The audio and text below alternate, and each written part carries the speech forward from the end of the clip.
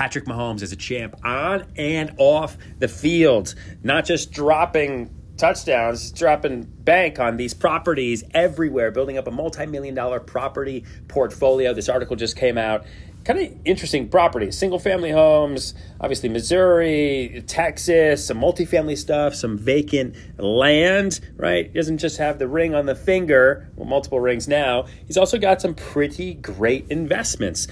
Kansas City's $50 million man. What else is he going to do with his money? He's got to put it into real estate. That's what we've been saying. This whole article goes through everything. Look at this. Look at that beautiful plot. Of, look at that. Gorgeous. I wonder what he's going to do over there. There's a lot of different options. He got this house. He got this over here. Maybe he's going to build this out. Westlake, Texas. This is nice. This is probably for him. Maybe it's for some family. I don't know. Maybe it's for the in laws, right? When you're making that much money, you got to like keep everybody happy, you know, and his growing family and everything. Look at that wet bar up there.